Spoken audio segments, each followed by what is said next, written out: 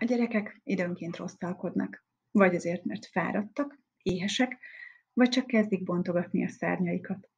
Ez olykor dühítő lehet, de nagyon sokat tehetünk annak érdekében, hogy a helyes viselkedésre ösztönözzük őket. Először is, amikor gyermekünk nyugtalanul kezd viselkedni, ajánljunk fel neki egy játékot, vagy egy érdekes tevékenységet, amelyen leköthetjük a figyelmét.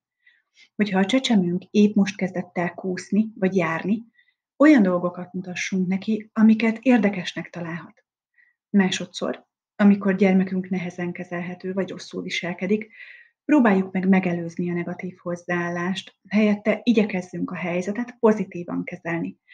Például ahelyett, hogy azt mondanánk, ne szaladgálj a házban, mondjuk azt, hogy ne felejtsd el, hogy a házban csak sétálunk.